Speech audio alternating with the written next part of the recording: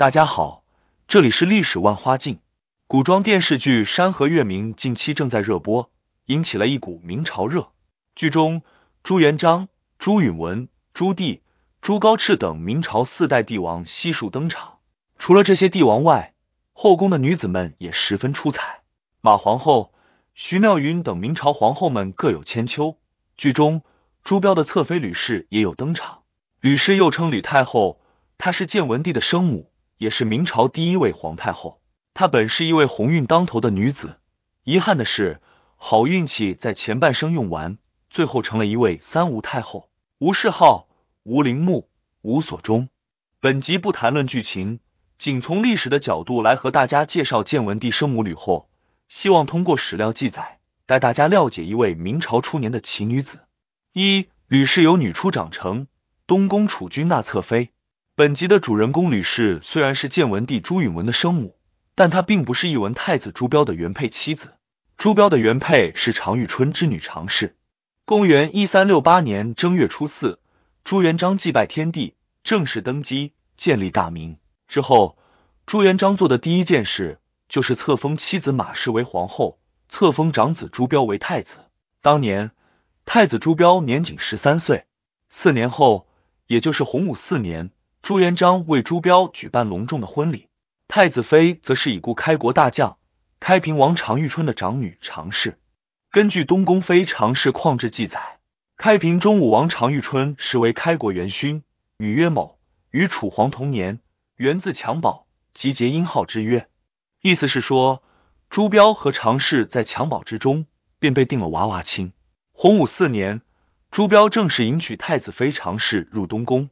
常氏嫁给朱标后，是为大明太子妃，十载东宫元妃，勤俭孝敬，不以贵妇骄，迎妇德之意，成天下之表仪也。可见常氏虽然是武将子女，但品性方面还是比较优异的。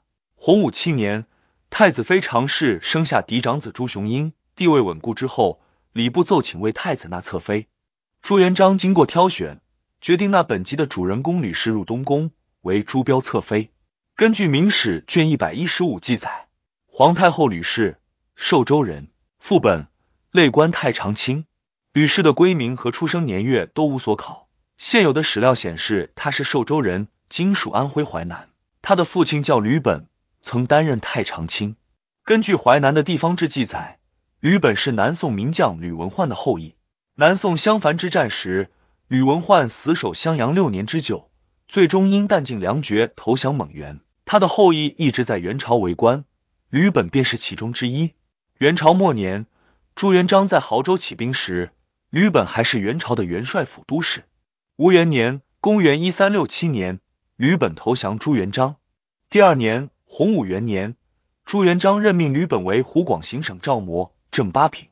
洪武三年，吕本升任中书省右司郎中，正五品。到了洪武六年，吕本已经升任太常卿，正三品。七年之内，吕本从正八品的小官连升数级，成为了明朝司法大法官。这种开挂式的晋升方式，只能说明，要么吕本的能力非常突出，要么朱元璋对吕本特别钟爱。从朱元璋为朱标纳吕本子女吕氏为侧妃这件事也能看出，吕本是朱元璋比较认可之人。和太子妃常氏不同的是，太子侧妃吕氏入东宫后非常低调。历史上几乎没有关于他品行的记载。不过，据万历野获编记载，太子妃常氏在东宫待他人十分随和，颇有孝慈高皇后、马皇后之风。由于朱标的东宫只有常氏和吕氏两位嫔妃，这里的他人指的应该是吕氏。由此可知，吕氏虽然身为侧室，她在东宫的日子应该还算顺遂。吕家本是元朝降臣，吕氏能入东宫为侧妃已是殊荣。当时东宫太子妃乃是开国名将常遇春之女，在那个看出身的年代，一个出身在前朝将臣家族的侧室，在一个开国名将的长女面前，应该没有太多的底气。不过历史证明，吕氏是一位鸿运当头的女子，因为她的运气实在是太好。二侧室生子为嫡妻，庶子丧兄成嫡长。洪武十年，吕氏诞下一子。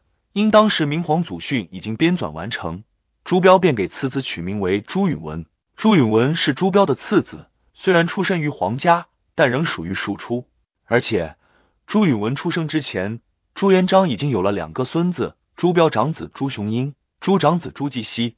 所以朱允文出生的时候，朱元璋和诸位皇子虽然照例给东宫送来了贺礼，却远没有那么隆重。值得一提的是，明皇祖训在洪武八年正式将朱标之系的辈分确定为允文尊祖训，清武大君圣，顺道宜逢吉，施良善用圣。所以朱允文的名字中含有允字，也含有火字旁。而他的大哥朱雄英因为出生在洪武七年，所以没有按照这个规则来取名。洪武十一年冬月，太子妃常氏又诞下一子，这是他为朱标生下的第四个孩子，也是朱标的第三子。朱标为其取名为朱允腾。当月，常氏因产子过程中损伤太过严重，竟去世了。太子妃常氏嫁给朱标七年，生下两子两女，颇受朱标宠爱。如今戛然离世，让朱标非常伤心。朱元璋下旨为太子妃辍朝三日，是敬意。太子妃去世，朱标的东宫格局便发生了变化。《明史》卷一百一十五云：初，太祖册常妃。计策吕妃，常氏薨，吕氏始独居东宫。意思是，当时朱标的东宫只有两位妃子，常氏去世后，东宫便只有侧妃吕氏。按照常理，朱标要么重新续弦一位新太子妃，要么将侧妃扶正。考虑到吕氏已经育有一子，当时常氏的幼子朱允腾尚且年幼，需要母亲的照料。朱标在禀明朱元璋后，决定选择后者。决定将太子侧妃吕氏扶正，就这样，吕氏由太子侧妃摇身一变成了朱元璋的长媳，朱标的正妻。从礼法上说，吕氏是朱雄英和朱允炆的继母，而他的儿子朱允文也从太子庶子变成了续弦生的嫡子。他由侧室变成正室，儿子由庶子变成了嫡子，这种变化是可遇而不可求的。事实证明，吕氏的好运气还没结束。朱元璋建立大明朝后，规定了居嫡长者必正储位。这意味着，如果朱标的长子朱雄英长大成人，必然会成为朱标的接班人。因此，不管是朱元璋还是朱标，都对朱雄英寄予厚望。根据现有的史料记载，朱雄英敏而好学，颇得朱标喜爱。然而，讳疾必伤。洪武十五年五月，朱雄英因病夭折，年仅八岁。朱标伤心欲绝。朱元璋更是下旨按照皇子礼仪厚葬朱雄英，追封他为余王，并让文武百官步行为朱雄英送葬。朱雄英的去世给朱标一脉造成很大的影响。按照常理，如果他朱雄英不死，他必然是朱标的继承人。即使朱雄英夭折了，如果他的母亲常氏不死，那他的同母弟朱允炆将会是唯一的嫡子。这样的话，就没有吕氏母子什么事了。然而。老天仿佛特别眷顾吕氏、常氏的薨逝，朱雄英夭折，这让吕氏成为了嫡妻，也让朱允文成为了嫡长子。一时间，吕氏母子成了东宫之中除了朱标之外最为尊贵的人。三太子遗孀尊太后，燕王长嫂轮囚徒。吕氏被扶正之后，又相继生下来朱标的第四子朱允坚和第五子朱允熙，作为朱标的太子妃。吕氏在洪武年间出席过一些礼仪活动。特别是在马皇后去世之后，吕氏还主持过一年一度的祈蚕节。吕氏的高光时刻持续了十余年，直到洪武二十五年，他的命运再次发生改变。洪武二十五年，朱元璋派朱标巡视陕西，朱标归来后染病，不料病情加重。到了四月二十五日，朱标不治身亡，年仅三十七岁。吕氏从太子妃变成了一位双居之人。朱标的去世打乱了朱元璋太多的计划。朱元璋肝肠寸断，几乎一夜白头。后来，在刘三吴的劝说下，朱元璋决定将皇位留在朱标一脉。据《明史本纪》第四记载，帝生隐晦好学，性至孝，年十四，待一文太子疾，昼夜不暂离。庚二年，太子薨，居丧毁疾。太祖抚之曰：“儿承纯孝，故不念我乎？”洪武二十五年九月，立为皇太孙。朱标病重期间，朱允文在床榻前侍疾，昼夜不离。朱元璋认为，作为朱标名义上的嫡长子，朱允文是个至诚至孝的好孩子，因此决定立朱允文为皇太孙。六年后，朱元璋驾崩，朱允文顺利继承大统，改元建文，是为建文帝。朱允文追尊父亲朱标为孝康皇帝，而吕氏作为朱允文的生母，自然被尊为太后。如此一来，吕氏变成了大明朝的第一位皇太后，不含追尊。从降臣之女到太子侧妃，再到太子正妃，再到皇太后，吕氏人生的每一步都好像有运气的加持。然而，让吕氏没想到的是，她前半生貌似把运气已经用完，后半生却没活成太后该有的样子。洪武三十一年八月，登基仅三个月的朱允文便开始削藩，周王朱肃被贬为庶人，流放云南，其他诸王人心惶惶。此后一年之内，又有四位藩王被削，他们或被贬为庶人，或被囚禁于宫墙。襄王朱柏不堪折辱，竟然举火自焚了。建文元年七月，惴惴不安的燕王朱棣终于下定决心举兵靖难。明朝开国不足四十年。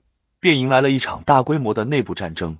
期间，朱允文用人不当，昏招频出，最终输了这场叔侄大战。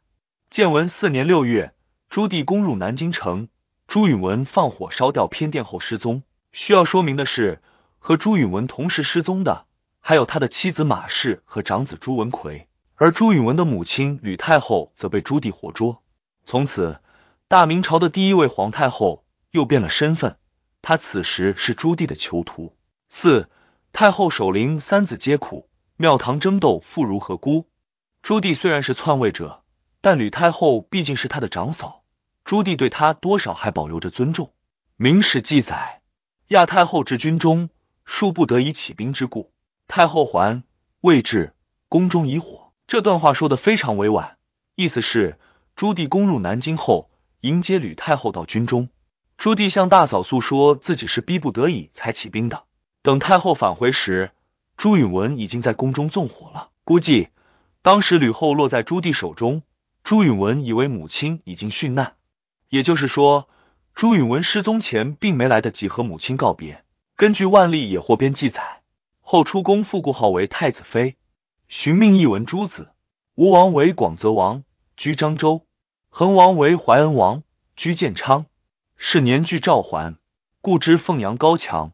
朱棣登基后，不承认建文帝的正统地位，他废除了建文帝的年号。不仅如此，朱棣也不承认大哥朱标孝康皇帝的身份，他将朱标重新降为一文太子。而作为朱标的妻子吕氏，从大明朝第一位皇太后，再次被降为一文太子妃。纵观史册，从太子妃逐渐晋升为太后者居多，然而从太后降为太子妃者，极为罕见，而吕氏便是一例。朱棣登基后，怎么安排大嫂成了一件麻烦事。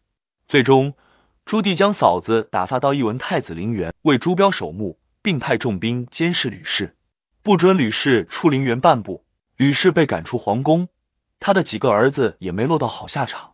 当初朱允文登基时，封三弟朱允滕为吴王，封四弟朱允坚为恒王，封五弟朱允熙为徐王。其中，朱允滕为常氏所生，朱允坚和朱允熙是朱允文的同母弟，二者皆为吕后所生。朱棣攻入南京后，抓到了朱允文的三位弟弟，将他们统统贬为郡王。同年，朱棣又下旨召朱允滕和朱允坚回京，将二人贬为庶人，幽禁在凤阳高墙之内。